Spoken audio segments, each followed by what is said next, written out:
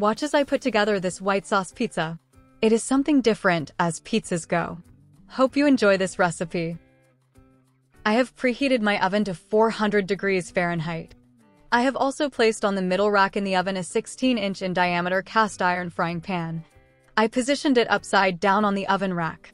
This will act as my pizza stone. I have prepared for this white sauce pizza the following ingredients.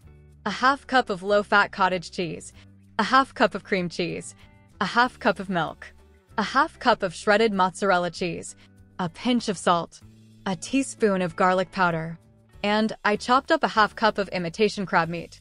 You can use any seafood including chopped cooked shrimp and smoked salmon, for example. I have also included grated Parmesan cheese. These are mixed well together. Voila! You have your white sauce. The pizza dough is what I call a go-to recipe for pizza dough. You will find it on this YouTube channel, this meal this time. As you can see, I have taken the dough and rolled it out on a pizza peel lined with parchment paper. It is 12 inches in diameter. I have crimped the sides like you would a pie crust.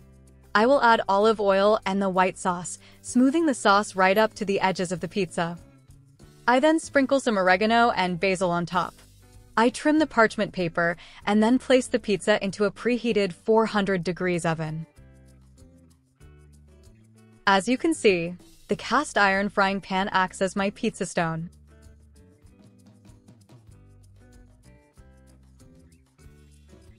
I open the oven and peek inside to see how it is going. It is going great.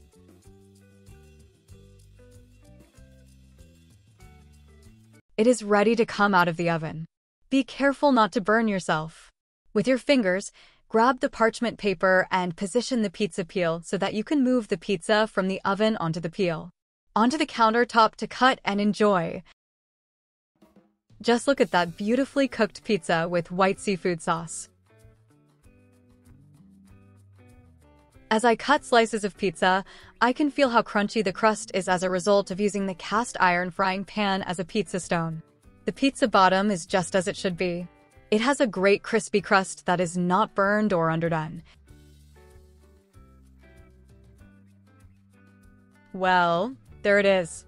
A different version of a pizza that you should try as an appetizer or a meal. Thanks for watching my video. Please like this video and subscribe to my channel. I appreciate the time you took from your day to watch. See you next time.